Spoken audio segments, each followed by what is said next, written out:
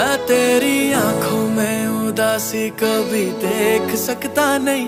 तुझे खुश मैं रखूँगा सुने मैं तेरे होठों पे खामोशी कभी देख